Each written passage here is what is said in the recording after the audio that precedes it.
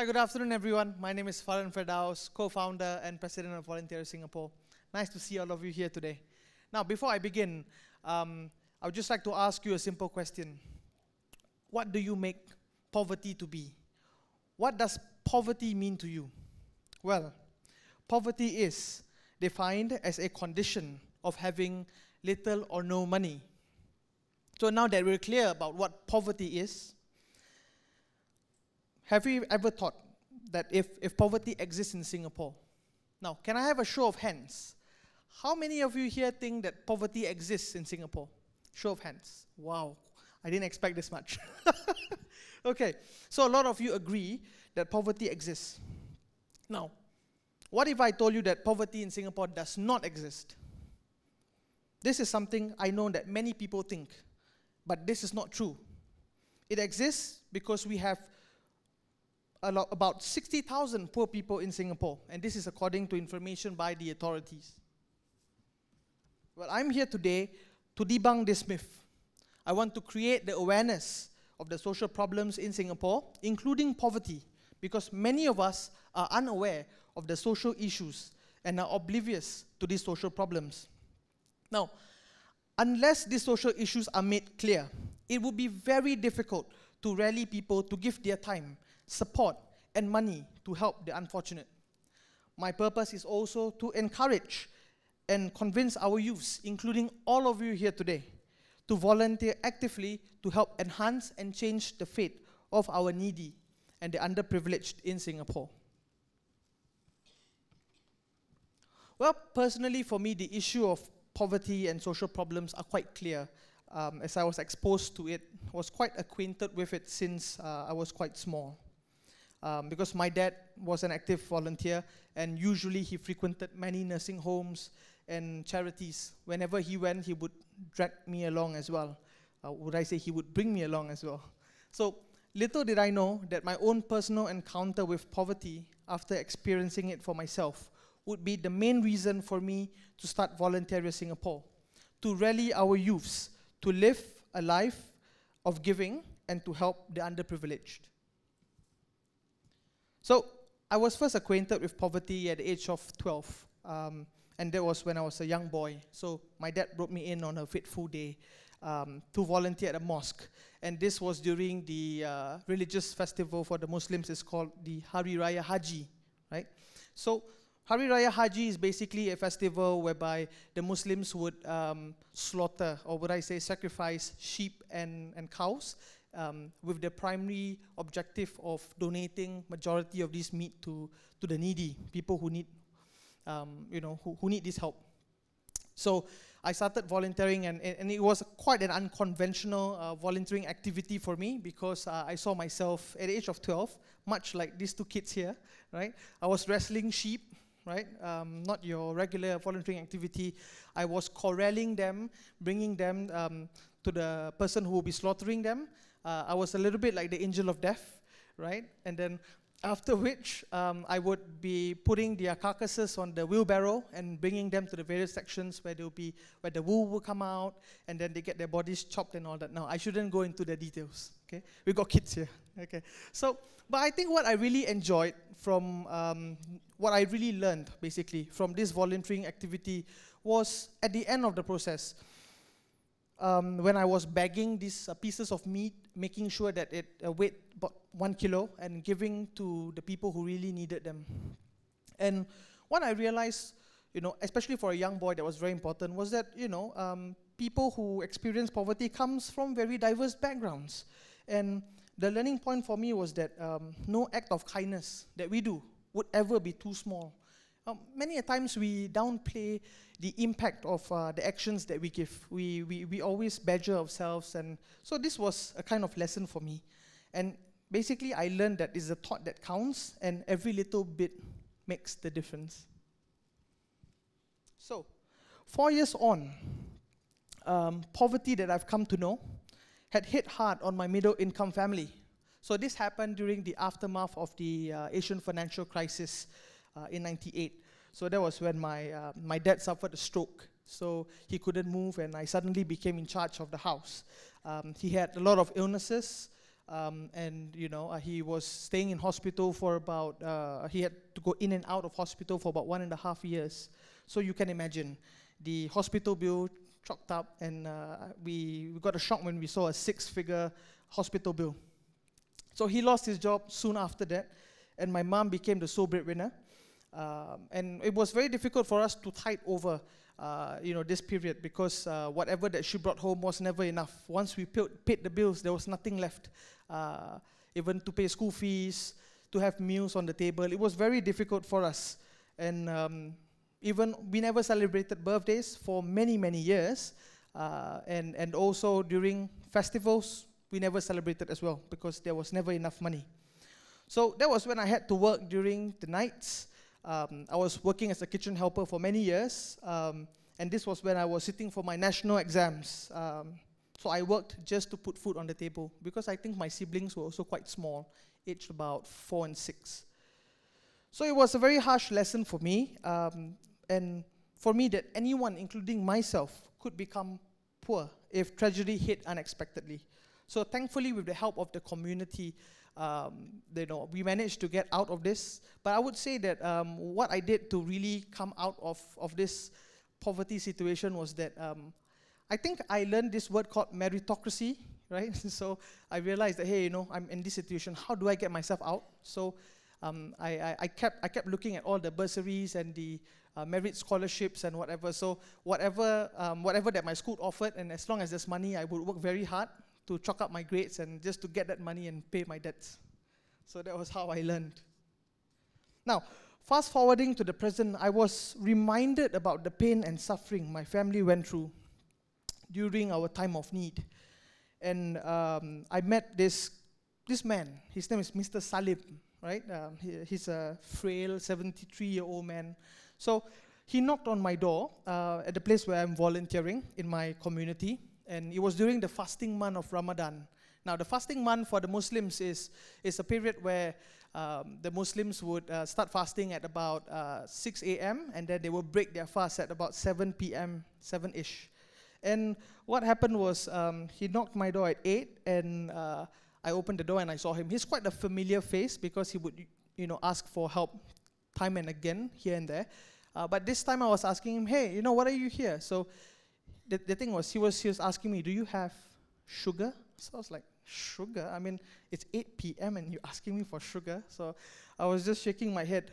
So the thing was this, Mr. Salim was asking for sugar because uh, he explained that he did not have money to, you know, despite uh, fasting for about 12 hours or so, he didn't have money to break fast, he didn't have any food, and he was just asking for sugar to make coffee for him and his wife.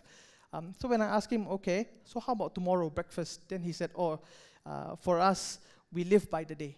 Uh, so tomorrow is another day, and I would just deal with it. So, you know, it really left me with a heavy heart. So I decided, you know, uh, I, I gave him more than he needed in terms of rations, and I gave him some money from my own pocket. So, but I really wanted to know more about the difficulties that he was facing. So I had to sit down with him and uh, ask him what is his problems. And he and, and, and I think I managed to uncover more. He mentioned that he was basically living in a um, uh, he, he doesn't have a home, a roof over his head, and he was living in a one room flat with five to six family members. Uh, and uh, basically, he would live there until his relatives would chase him out, chase, chase him out, and it doesn't belong to him. And basically, the food that he eat, because he, he cannot cook, he can't cook, so he has to eat all the instant noodles and stuff like that. Very unhealthy. Then he mentioned that he had he has a grandson.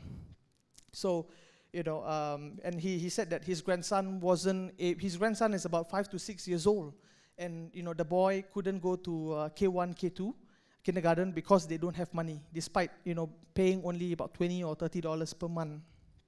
So, after saying that, um, I thought to myself, you know, this, this little boy, uh, Mr. Salim's grandson, if he went to primary school, because, you know, being ill-equipped, um, not having foundation in education, if he moved on uh, and later going on to secondary school, usually uh, cases like him, they would fall out of education and, uh, you know, there will be dropouts.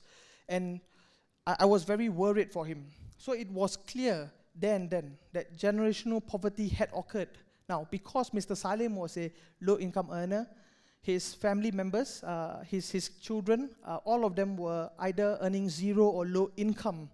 And also, uh, and it is perpetuated for many years. So it occurred that uh, this vicious cycle will continue. And if we don't do anything to help people like him, this, this will just uh, perpetuate. So it is unfortunate that this happens to Mr. Salim. And it is, it is very saddening to know that he lives day by day not having a roof over his head, as well as you know thinking about uh, put, I mean thinking about putting food on the table is a constant problem for him. I'm sure there are many others like him. So my first-hand and personal encounters with poverty um, had been a major reason for me to form Voluntarious Singapore. Now, Voluntarious Singapore is a non-profit and youth volunteer organization established in 2012. Um, we exist to encourage and empower youths to help change our social landscape and make a difference in the lives of people who need help, um, who basically need help the most. We do so by providing volunteering opportunities to all youths, both youths um, who are keen to volunteer on an ad hoc basis as well as uh, on the um, uh, long-term basis. And this way, everyone can volunteer their time to help the poor and vulnerable. We also mentor youth volunteer leaders who are keen to make a difference uh, in society. So what they do is they solve community problems. It's, it's, it's usually a two to three month project. Now, back to poverty. So this myth that poverty does not exist has been debunked. So what do you think caused most people to think that poverty does not exist?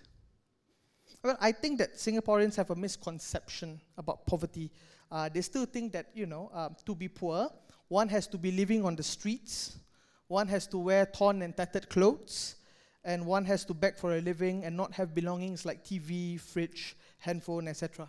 Well, this is a mis- this is a common misconception.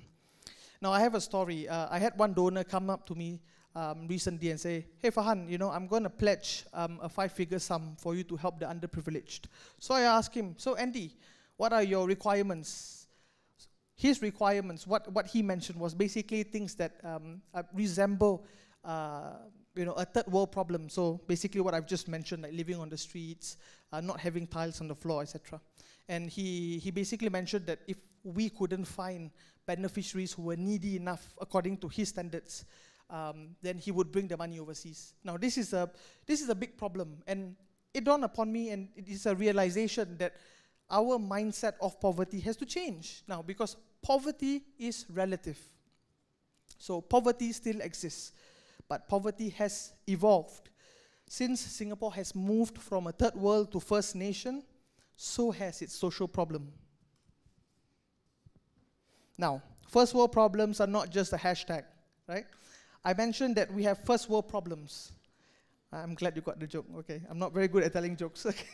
So I mentioned that we have first world problems, and that, and of course that doesn't include your phone at home, you know, uh, not being able to buy your branded goods, or even not eating at your favorite restaurant. Now, if we, my friends, don't actively help the needy, they may form the social underclass. The low or zero income of parents may lead to a poor start in education for their children. And because of this lack of motivation to study, the kids may drop out and become youths at risk, susceptible to negative influences like shoplifting, drug abuse, joining teen gangs, and the list goes on. These teens will grow up in a negative environment, and the same may repeat for their children. Now, you can play a role. You can step up to help those families break out from the poverty um, from the poverty cycle by not just giving them money, not just giving them support, but also giving them your time. Now, what's important is before we help anyone, we need to first understand their needs. What we can do today to help the underprivileged is first to identify the needy in your community. So it could be, um, you know, people living in your neighborhood near your HDB. Now, if you don't live at the HDB, it could be at the hawker center. It could also be in your school um, a cleaner or whatsoever. But please, um, so what you could do is you could refer them to the CC, community center, or the CDCs or whatsoever. Uh, and also maybe you could uh, kind of accompany them to see your local MP. But before you bring them, please ask them for permission. You need to build a rapport. You can't just drag them like that, all right? Okay. So, secondly, what you could do, um, if, if you could join programs to mentor uh, children and youths. For children, it is very meaningful because you would be a sense of, uh, you'll be a pillar of strength. Um, you would be a motivation for them because you see, they do not have positive influences in their life. So if you're there, you're spending time to teach them tuition, um, you are the reason for them to excel in their studies. For the um, teenagers uh, or those who are studying in the IHLs, um, you would you would basically um, encourage them to upgrade their skills and uh, upgrade themselves academically. And this goes a very long way to help them um, upward uh, through the upward social mobility, and this will help them to break out the poverty cycle. Now, I hope that I have been uh, that I've managed to open your eyes to the criticalities and the needs of our community and society. I hope that my talk has somewhat inspired or convinced you to volunteer and make a difference in the lives of the underprivileged. Let's not leave anyone behind in this. We all have to play our part if we want to make Singapore a livable home for everyone. Thank you.